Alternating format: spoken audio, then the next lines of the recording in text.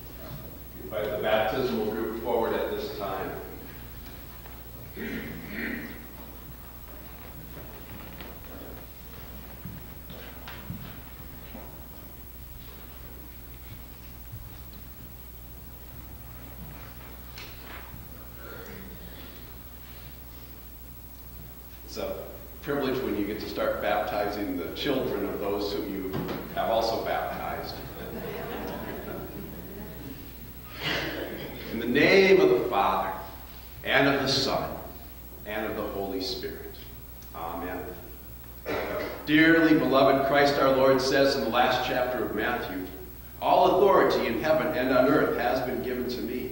Therefore go and make disciples of all nations by baptizing them in the name of the Father and of the Son and of the Holy Spirit. In the last chapter of Mark, our Lord promises, whoever believes and is baptized will be saved. And the Apostle Peter has written, baptism now saves you. The Word of God also teaches that we are all conceived and born sinful and are under the power of the devil until Christ claims us as his own. We would be lost forever unless delivered from sin, death, and everlasting condemnation. But the Father of all mercy and grace has sent his Son, Jesus Christ, who atoned for the sin of the whole world, that whoever believes in him should not perish, but have eternal life.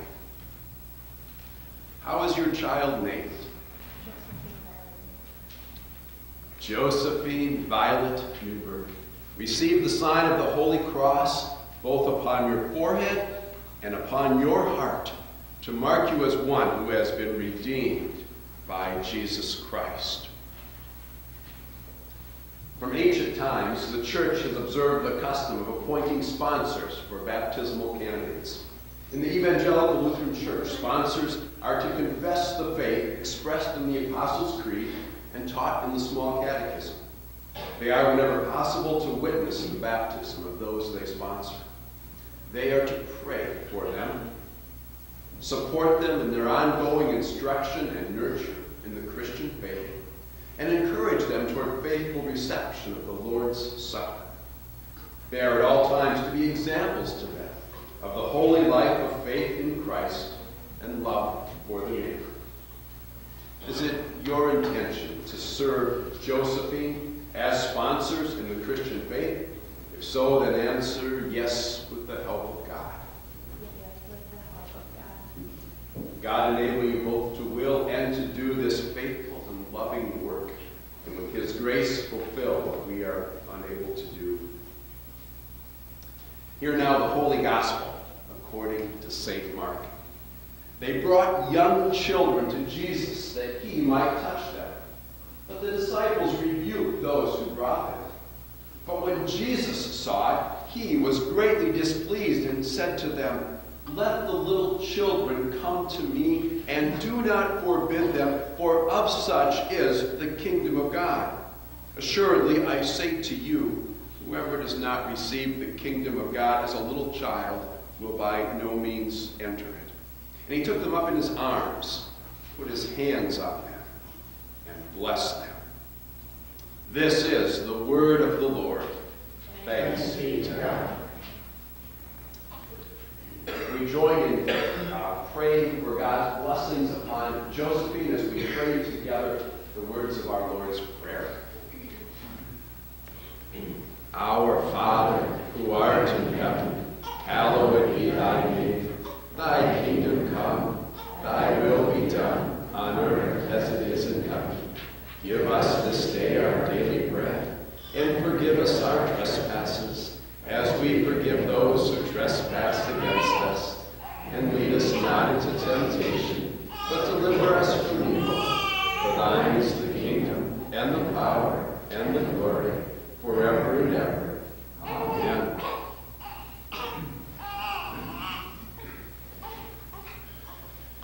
Because Josephine cannot answer for herself, I shall ask you as parents and as sponsors, uh, together with all who are gathered here, to speak on her behalf in testimony of the forgiveness of sins and the new birth of the life of faith which God gives in baptism. Josephine Violet Newberg, do you renounce the devil and all his works and all his ways? So answer, yes, I do. Yes, I do. And do you believe in God the Father Almighty, maker of heaven and earth? If so, answer, yes, I believe. Yes, I believe. Do you believe in Jesus Christ, his only Son, our Lord, who was conceived by the Holy Spirit, born of the Virgin Mary, suffered under Pontius Pilate, was crucified, died, and was buried? He descended into hell. The third day he rose again from the dead. He ascended into heaven and sits at the right hand of God the Father Almighty.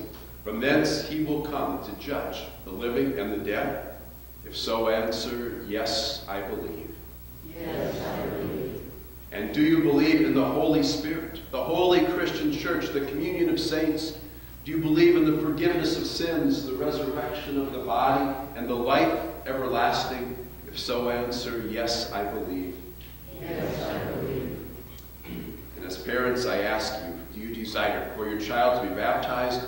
If so, answer, yes, we do. Bring her to the front. Josephine Violet Newberg, I baptize you in the name of the Father, and of the Son, and of the Holy Spirit. Amen. The Almighty God and Father of our Lord Jesus Christ, who has given you the new birth of water and of the Spirit, and has forgiven you all your sins, strengthen you with his grace to life everlasting. Amen.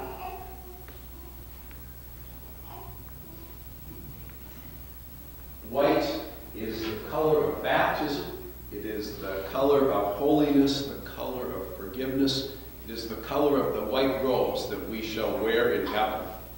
And so receive this white garment to show that you have been clothed with Christ's righteousness that covers all your sins.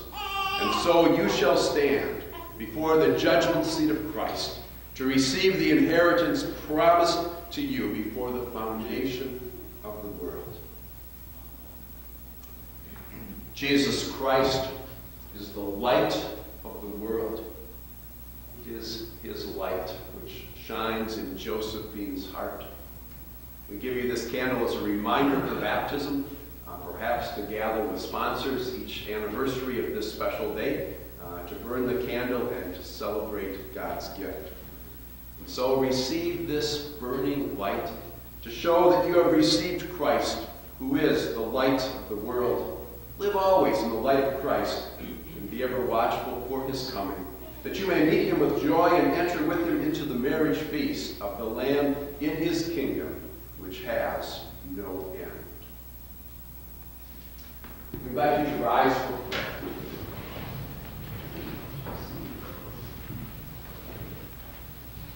Just turn and face the altar.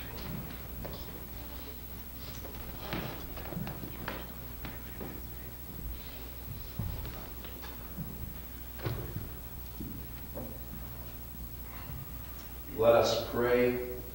Almighty and most merciful God and Father, we thank and praise you that you graciously preserve and enlarge your family, that you have granted Josephine the new birth and holy baptism, and made her a member of your Son, our Lord Jesus Christ, and an heir of your heavenly kingdom.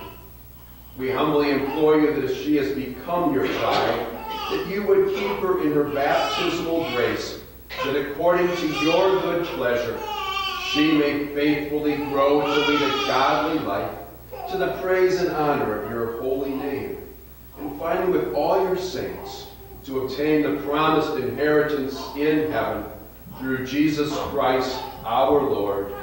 Amen. O Lord and giver of life, look with kindness upon Justin and Samantha, the parents of Josephine, and upon all parents. Let them ever rejoice in the gift that you have given them. Enable them to be teachers and examples of righteousness for their children. Strengthen them in their own baptism, that they may share eternally with their children the salvation that you have given them through Jesus Christ, our Lord. Amen. Josephine Violet Newberg is the newest member of the family of God and the newest member of our family here at Immanuel. Josephine, the Lord watch over your coming and going from this time forth and even forevermore. Amen. Congregation may be seated. We continue with the last two verses of the baptismal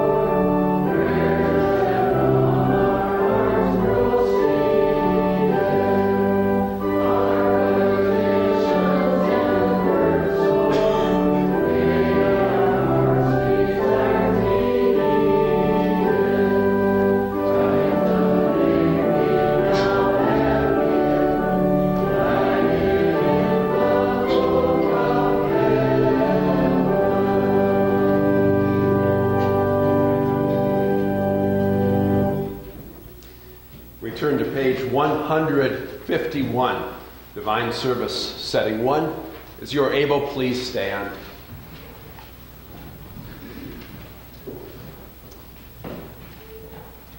If we say we have no sin, we deceive ourselves and the truth is not in us. But if we confess our sins, God, who is faithful and just, will forgive our sins and cleanse us from all unrighteousness. We take a moment to examine our hearts and to reflect upon God's Word.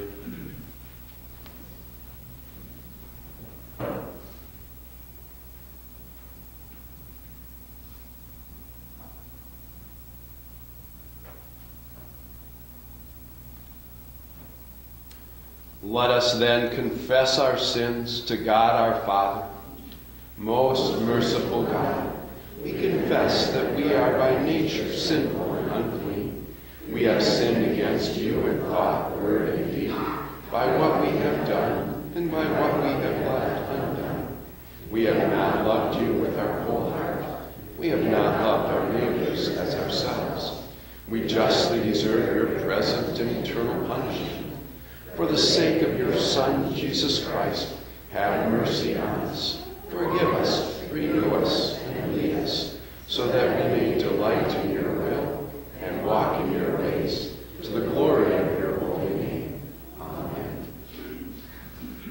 In the mercy of Almighty God, Jesus Christ was given to die for us, and for his sake, God forgives us all our sins. To those who believe in Jesus Christ, he gives the power to become the children of God and bestows on them the Holy Spirit. May the Lord, who has begun this good work in us, bring it to completion in the day of our Lord Jesus Christ. Amen.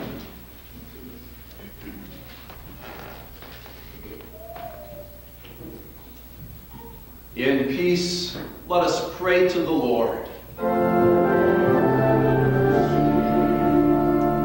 For the peace from above and for our salvation, let us pray to the Lord.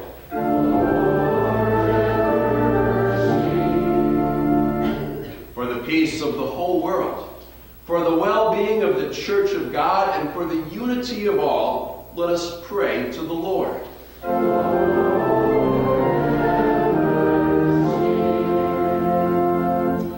For this holy house, and for all who offer here their worship and praise, let us pray to the Lord.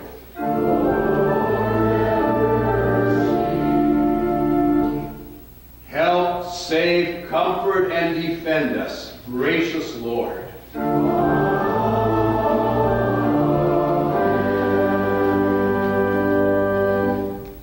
We continue on the top of page 156. The Lord be with you.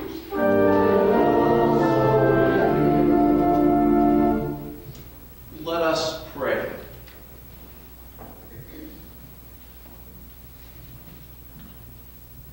O Father in heaven, at the baptism of Jesus in the Jordan River, you proclaimed him your beloved Son and anointed him with the Holy Spirit.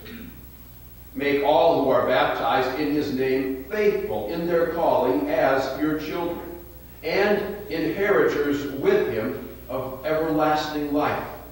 Through the same Jesus Christ our Lord, who lives and reigns with you and the Holy Spirit, one God, now and forever.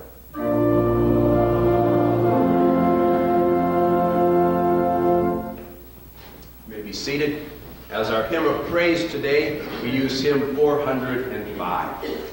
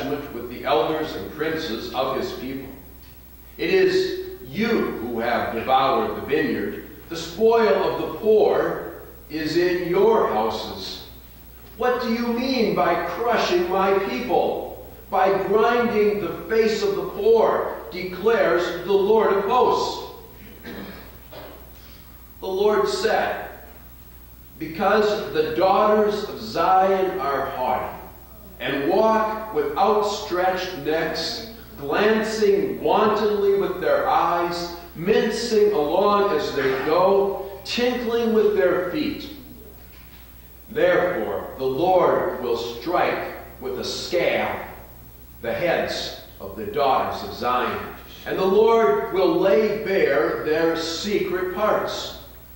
In that day, the Lord will take away the finery of the anklets, the headbands and the crescents, the pendants, the bracelets and the scarves, the headdresses, the armlets, the sashes, the perfume boxes and the amulets, the signet rings and nose rings, the festal robes, the mantles, the cloaks, and the handbags, the mirrors, the linen garments, the turbans, and the veils.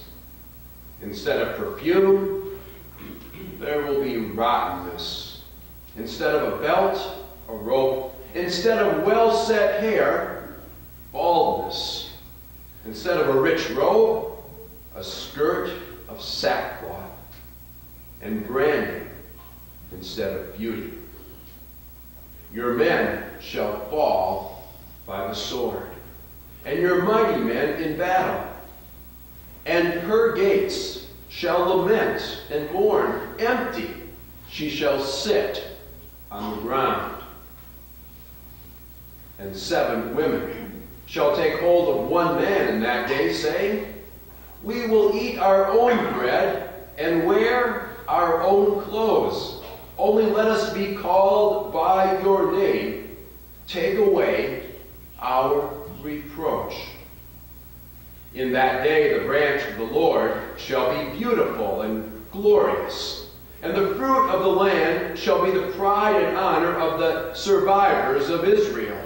And he who is left in Zion and remains in Jerusalem will be called holy. Everyone who has been recorded for life in Jerusalem. When the Lord shall have washed away the filth of the daughters of Zion, and cleansed the bloodstains of Jerusalem from its midst, by a spirit of judgment and by a spirit of burning. Then the Lord will create over the whole site of Mount Zion and over her assemblies a cloud by day and smoke and shining of a flaming fire by night. For over all the glory there will be a canopy. There will be a booth for shade by day from the heat, and for a refuge and a shelter from the storm and rain. This is the word of the Lord. Thanks be to God. We invite Arlo to share a song with us at this time.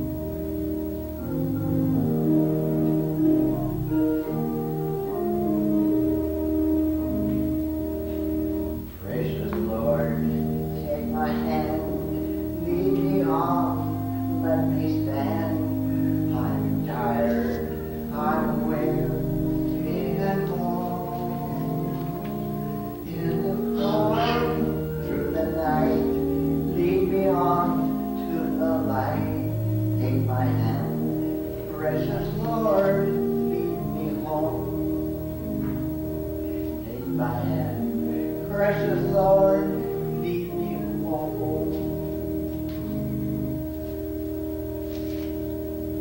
Now, I have some comments that I would like to make at this time. You bear with me, I'll try to make it as brief as possible. What an awesome experience it is to be walking with the Lord. I feel so privileged and blessed to have be here today to worship and for Christian fellowship. We all have our way of professing our faith. Pastor, you you profess your faith by your inspiring and powerful sermons. Norman, you do by leading to the morning Bible class. I would like to believe that I do by Savior. We all do by regular attending Sunday worship, hearing the message of salvation through our Lord and Savior Jesus Christ. Now I have a confession to make. For about three months until just recently, I was totally off course spiritually. I was feeling so negative about many things. I felt that I wasn't able or had the will to attend Sunday morning worship or Tuesday morning Bible study. Thankfully, it dawned on me in time how wrong I did, and so neglectful neglectful and short-sighted. However, due to your prayers and my prompting myself in praying, I am now back on course.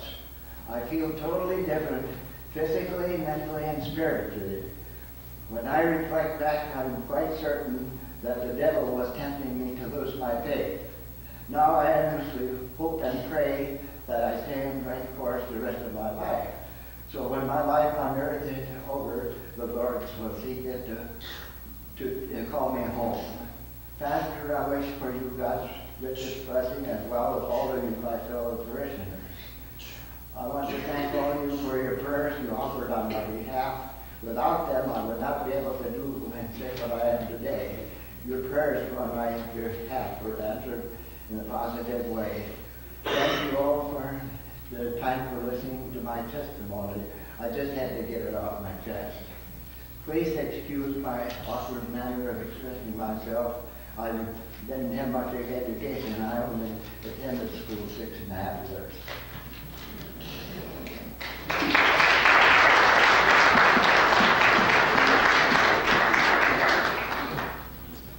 Thank you, Arlo. How good to have a God of grace and mercy, of forgiveness, of strength, of new starts, a God of love. Following our epistle reading, uh, we'll invite the children who are here this morning to come forward for a children's message. Our epistle now is from the book of Revelation, chapter 7, and it speaks about that ultimate day of the Lord in heaven. Then one of the elders addressed me, saying, Who are these, clothed in white robes, and from where have they come? I said to him, Sir, you know. And he said to me, These are the ones coming out of the great tribulation. They have washed their robes and made them white in the blood of the Lamb. Therefore they are before the throne of God and serve him day and night in his temple. And he who sits on the throne will shelter them with his presence. They shall hunger no more, neither thirst any more. The sun shall not strike them, nor any scorching heat. For the Lamb in the midst of the throne will be their shepherd, and he will guide them to springs of living water. And God will wipe away every tear from their eyes. This is the word of the Lord. Thanks be to God. We invite the children forward at this time.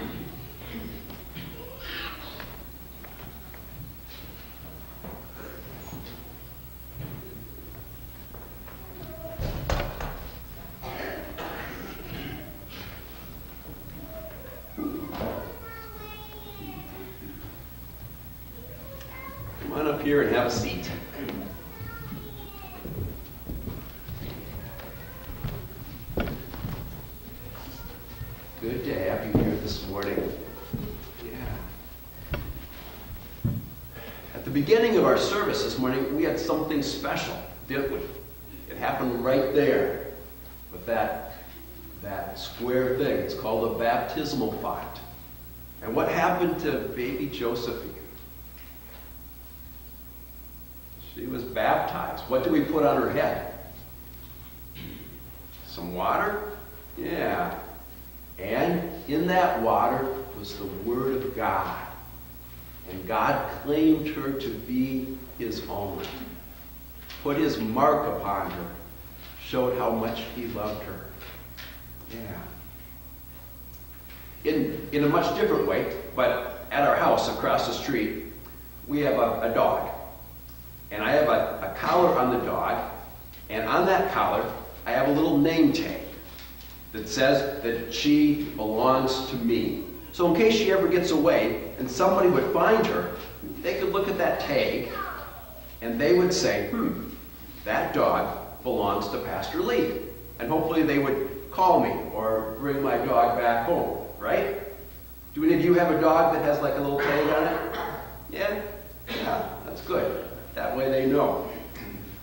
Well, in baptism, God puts a tag on us, except you can't see it. But he claims us as his own. We made the sign of the cross upon Josephine's forehead and upon her heart, marking her as one redeemed and loved by God. And God can see that tag. He can see that mark that she is claimed as his own. And you, when you were baptized, God put that same mark on you, said, You are mine so that he would always know us and always love us. And so sometimes we'll wear like a cross on a ring or a necklace or something like that as a sign of what's happened to us in baptism, that God loves us, that he has claimed us as his own. That's a good thing. We can never be lost because God is our God and he knows where we are. And he always comes to be with us, to find us, and to love us. Let's join in a word of prayer. Can you fold your hands? Dear Jesus, we thank you for how much you love us, that you've claimed us to be yours in baptism, and that you watch over us always. Thank you, Jesus, for that great love. Help us always to live as your children. In your name we pray. Amen. I have some tags with me this morning, um, and I'm going to give one to each of you that you could have and, uh, and wear, and as a reminder that God loves you. And when you have that, then you can head back to your seat if you'd like.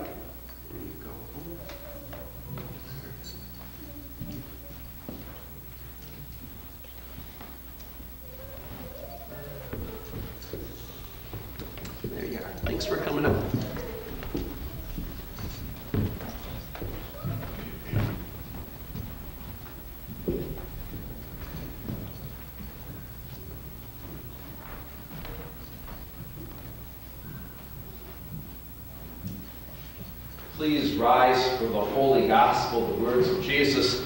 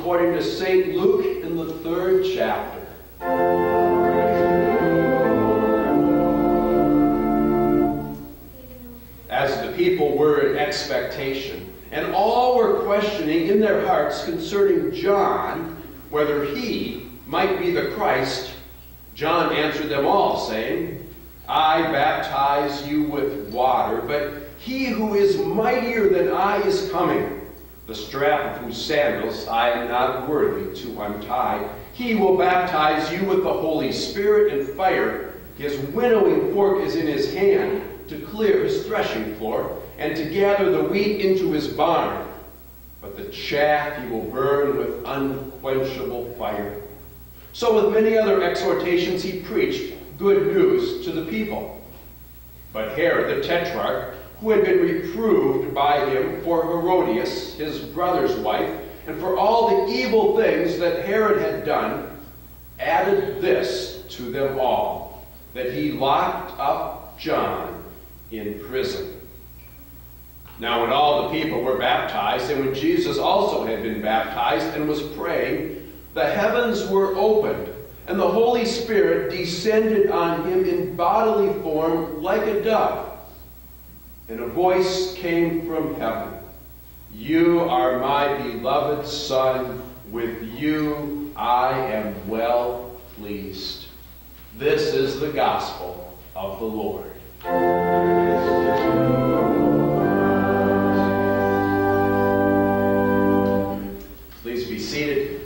Sermon hymn is 508. It speaks about the day of the Lord. Uh, note what it says about that day of the Lord, both for unbelievers and then for believers. Hymn 508.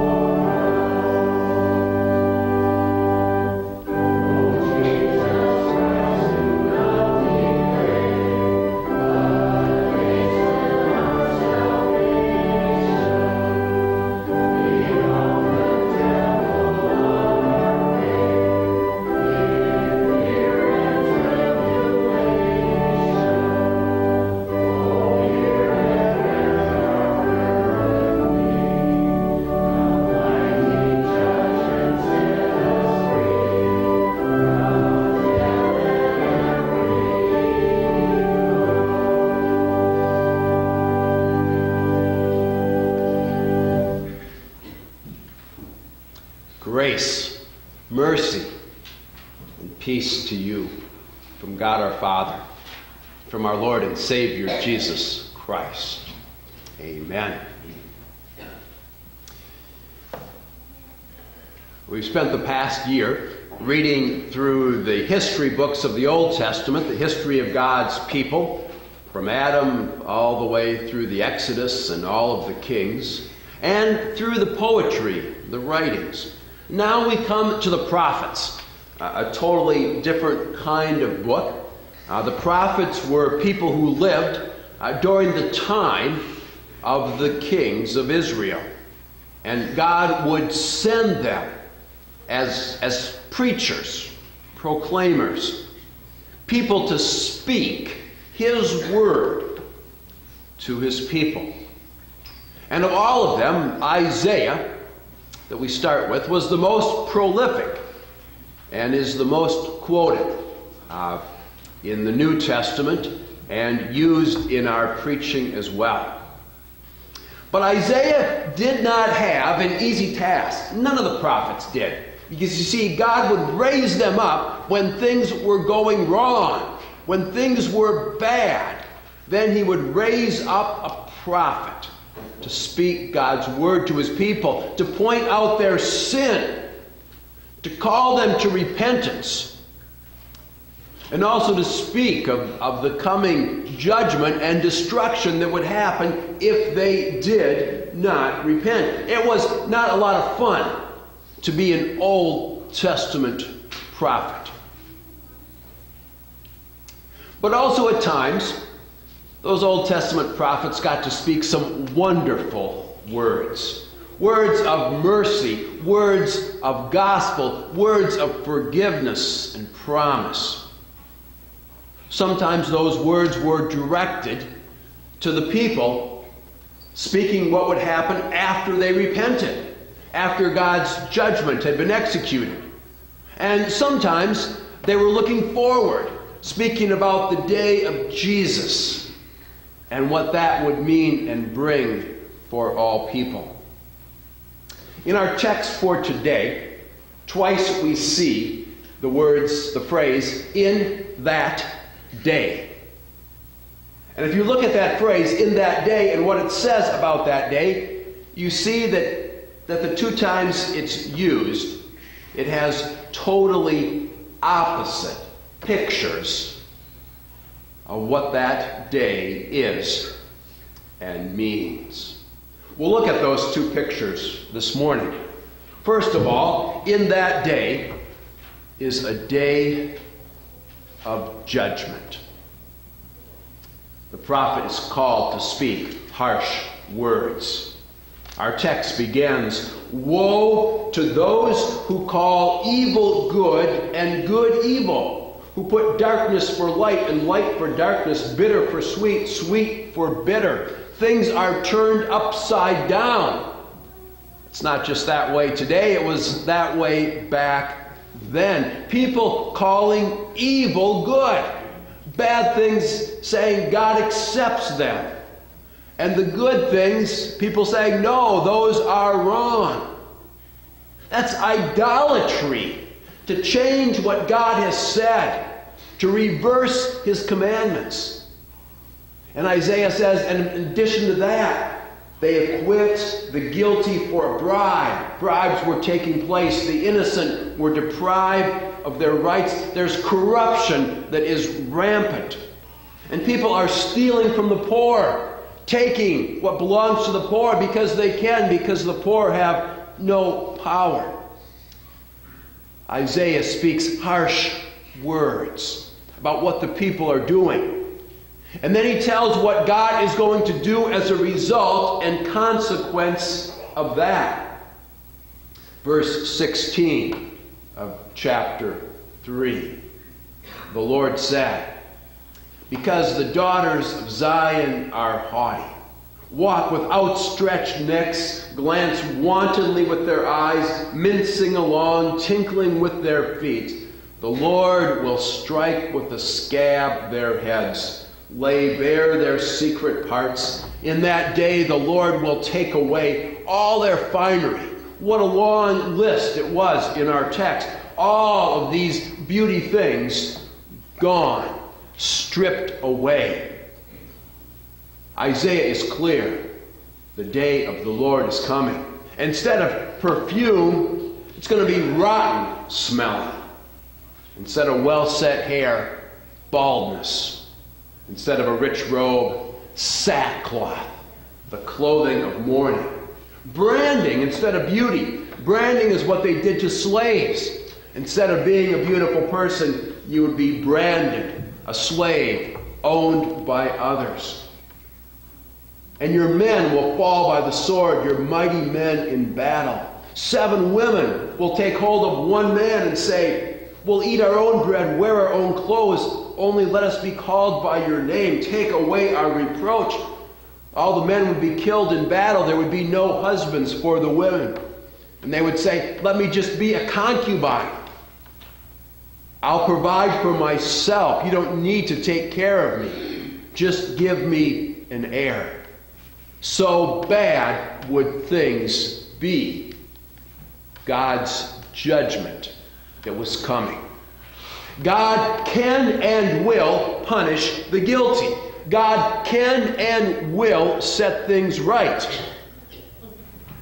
In Isaiah's day, it was the Assyrian army that God raised up and used them to execute judgment.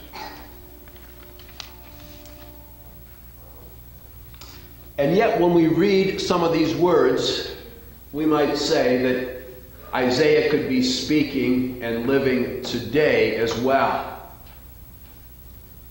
For we see in our own society evil being called good and good being called evil. People proclaiming sin to be okay.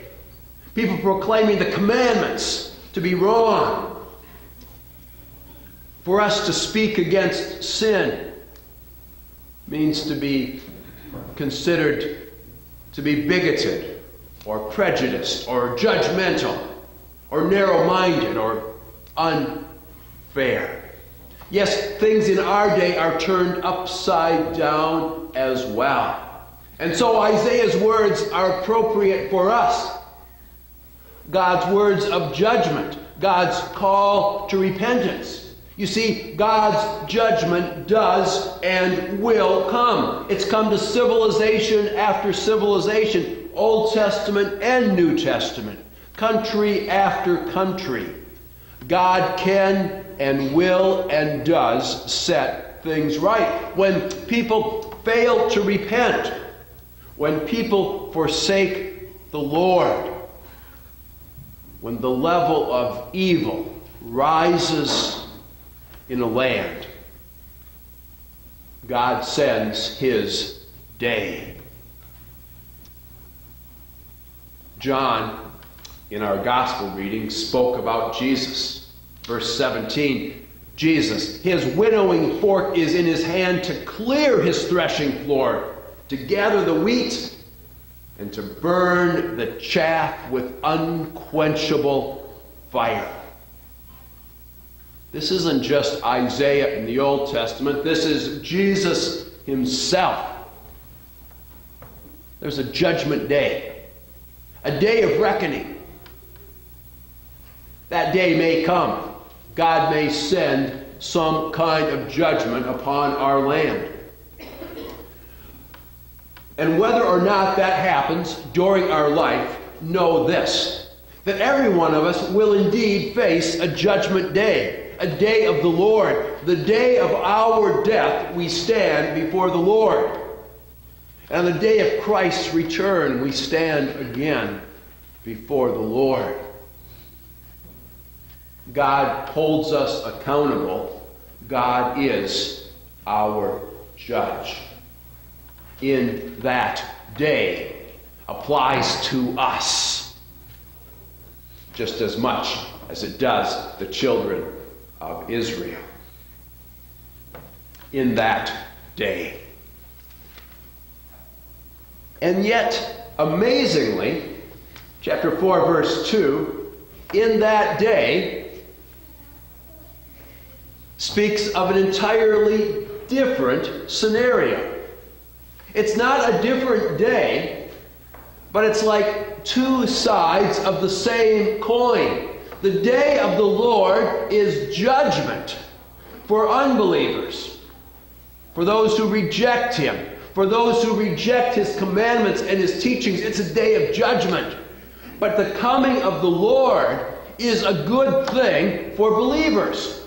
Because when God comes to set things right, the believers who have been oppressed by the wicked, they are set free.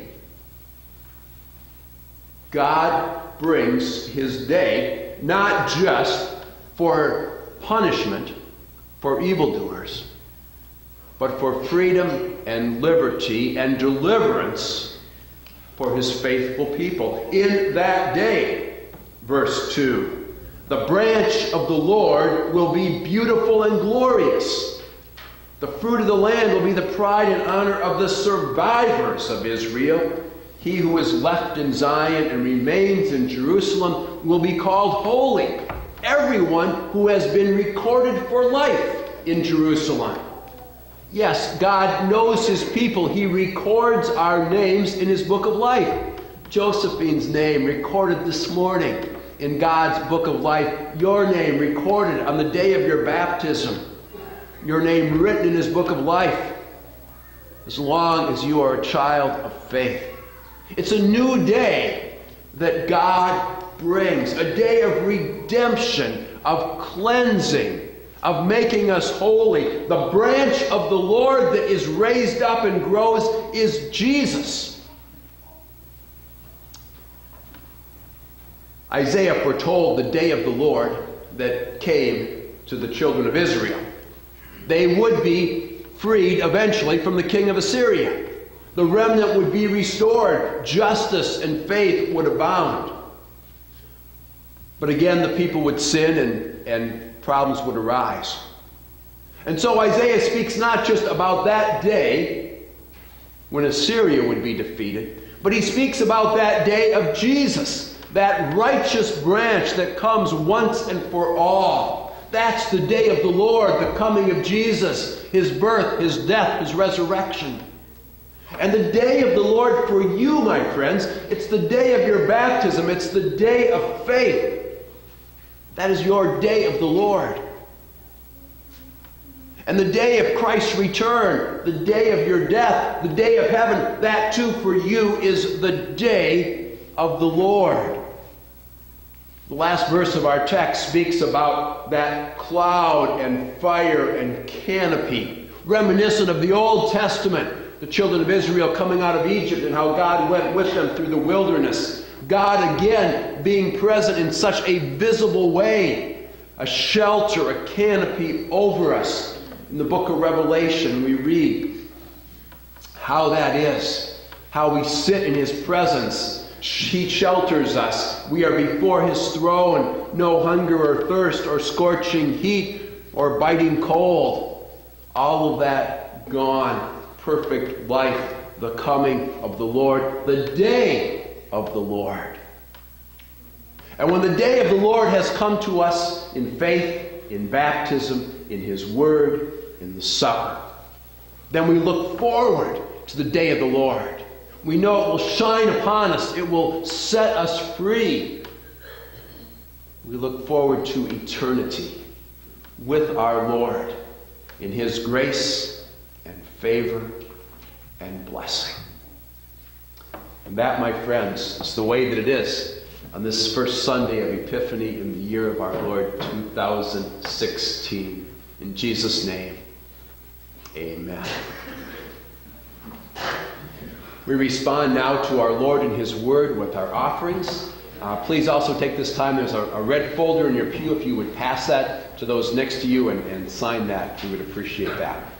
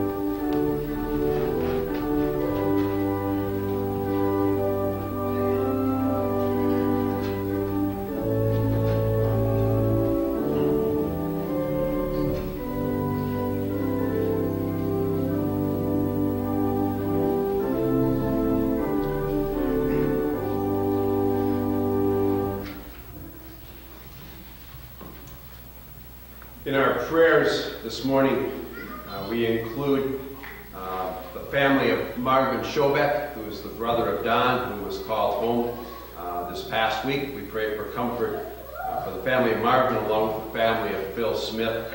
Um, also for uh, Jerry Wisso um, and family on the 10th anniversary of, of the death of his wife. And we give thanks to the Lord with our former vicar, uh, Vicar uh, Jeff and his wife on the birth of a baby boy, Benjamin Charles, this past week. We rise for prayer.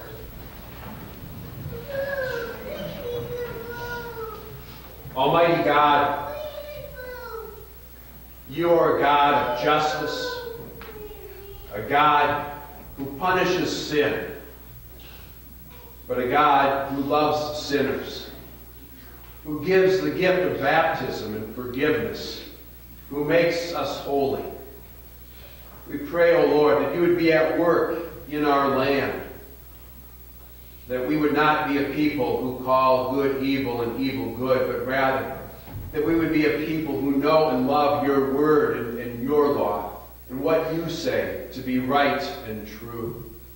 Give to us a love for your word, a love for the truth, a love for the gifts of faith that you have given to us. Lord, in your mercy. Heavenly Father, we pray for your comfort, for the families of those who mourn. Especially that you would be with the family of Marvin, the family of Phil, the family of Janice. Surround them with your love. Keep them in your care. Remind them of your promises.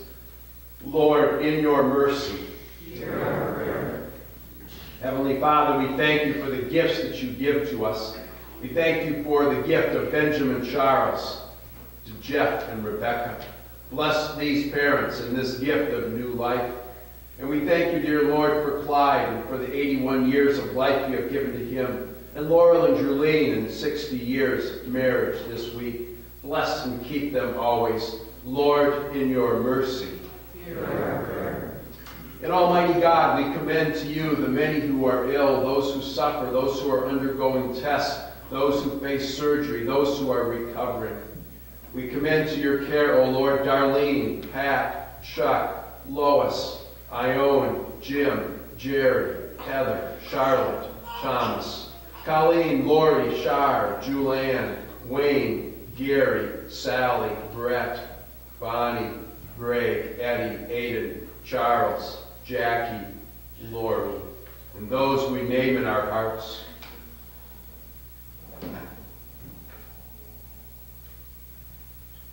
Lord, in your mercy, into your hands, O Lord, we commend all for whom we pray, trusting in your mercy, through your Son, Jesus Christ, our Lord, who has taught us to pray, Our Father, who art in heaven, hallowed be thy name. Thy kingdom come, thy will be done, on earth as it is in heaven.